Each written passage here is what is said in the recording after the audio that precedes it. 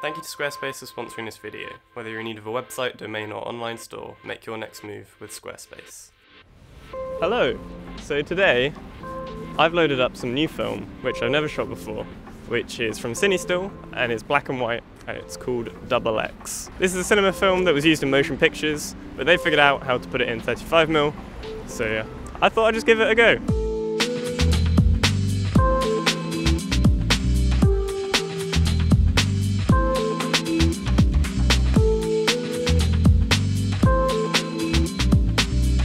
What you say. Mm, that you only meant well, well, cause you did. Mm, what you say. Mm, that it's all for the best, cause it is. So we're back again, different camera. Hopefully the film works in this one. Although I think I found one of the reasons, maybe why it didn't work, is because the, the leader reel, leader toothy thingy bit at the end that you feed into the camera behaves a bit funny and uh, it's loaded a bit loose into this so hopefully these photos come out as well. If not, this is a great lesson on why film goes wrong sometimes.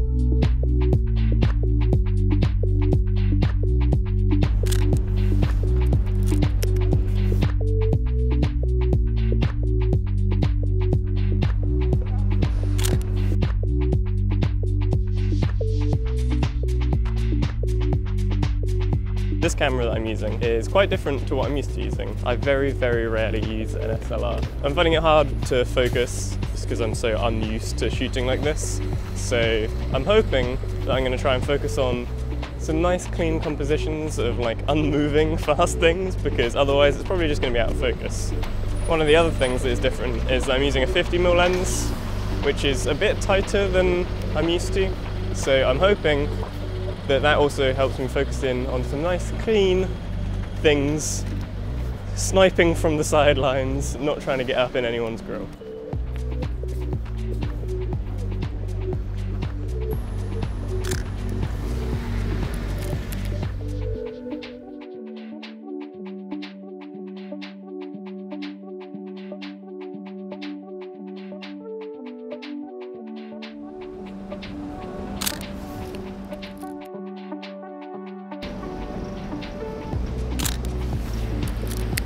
I mean, I don't know if that's going to come out because he was so much darker than the rest of his van, but that's pretty cool. They sell treadmill desks. Wow. I'm waiting to cross the road. Um, what I'm thinking about is that I wish I had a camera strap or gloves, because without both, it's pretty hard. And it's, I don't know how cold it is right now. It's like a few, yeah, a few degrees over freezing. It's not that pleasant to have your hands out at all times. Is this it?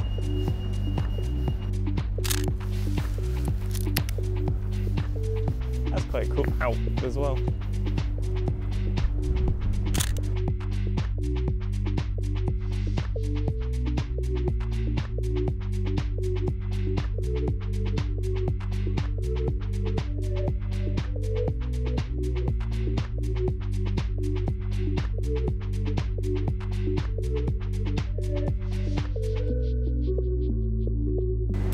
I like the pattern on here.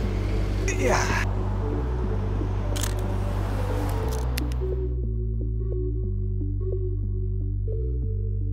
So one of the interesting things about this film is that online it's mentioned that you should meter different ways for different light sources. So I think it's 200 for daylight and 250 for tungsten. So uh, found some weird lighting. Gonna take a photo of Louis in the weird lighting uh, at 250 instead of 200. See how it looks.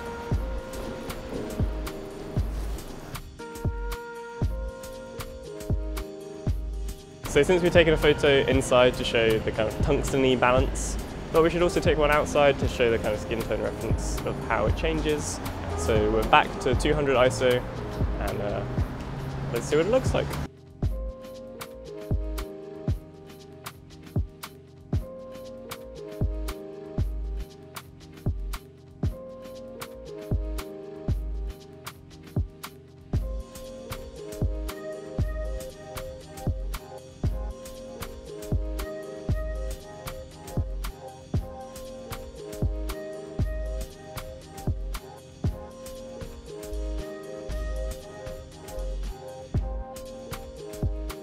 That was the end of the roll. Uh, even though there were some troubles shooting this in the first place, I actually had a good time in the end. Felt pretty fresh to use a completely different camera that I wasn't used to using with quite a lot of different variables and it's also the first time I'd shot black and white in quite a while. So um, it was fun all round, lots of new experiences, well maybe not new experiences but new old things. As far as it goes for the film in general, I thought it came out really nice. I think particularly the kind of like texture, textural, textural?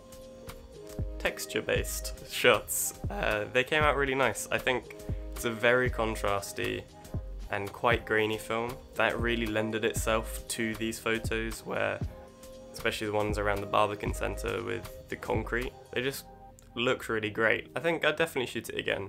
I normally prefer a kind of flat black and white film and I think that's probably better for maybe portraits but for something like this where you're just focusing on things and buildings, maybe this is a great option. So if you're interested in shooting some of it, I got this roll from Parallax in Brixton. They, uh, they stock it, so check them out if you want to buy some. And finally, thank you again to Squarespace for sponsoring this video. If you're looking to build a website for your photographic portfolio, a store, blog, anything, just a website in general, check out Squarespace. It's really easy to build a great looking professional website, and you definitely don't need any prior experience, and you can get 10% off using the code negative feedback. So thank you very much for watching and there'll be another video next Tuesday.